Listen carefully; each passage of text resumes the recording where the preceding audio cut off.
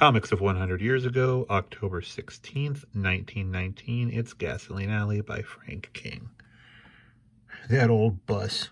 Something goes wrong with it all the time. I'm going over to tell him what I think of him for selling me such a piece of junk.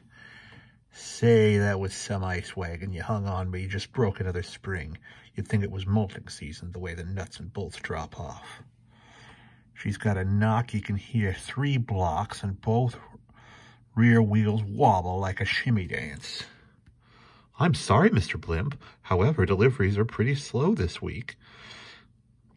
Are pretty slow now, and if it isn't too in too bad shape, I think I can get you a good price if you care to sell. There's nothing wrong with her. Say, listen, all she needs is a coat of paint and some tires, and she'd be a swell little bus. The end.